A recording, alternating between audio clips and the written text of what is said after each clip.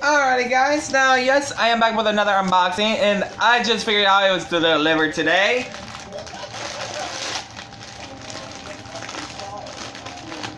And that is my two ooh, uh, Bay plush.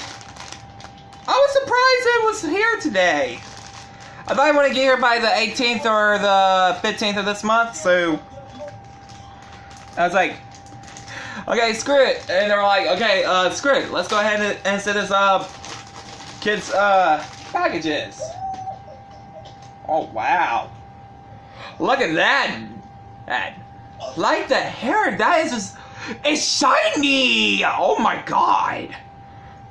Now, honestly, now I'm gonna figure out how to do this with nobody's help. I'm gonna take the tag off myself. Hello. Okay, I can do this.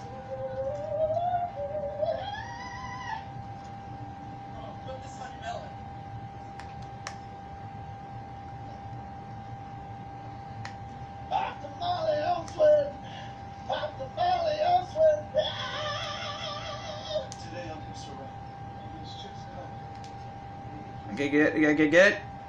Nope, I did not get it.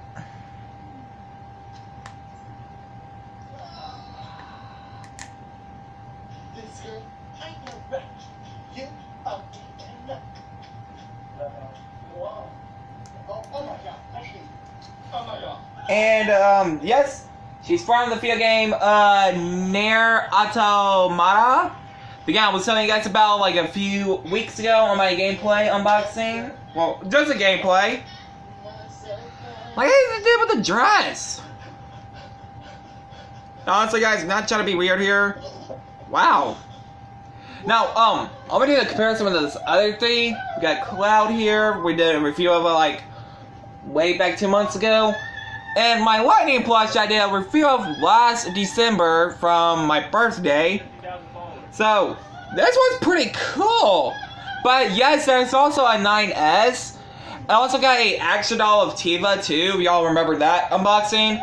And there's also an action doll for this one and 9S. I believe it's a pre-order, like, cause somebody said this was it was a pre-order like a month ago.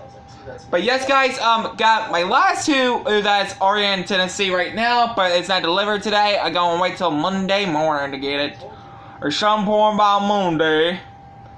Hope you guys like, comment, subscribe. To be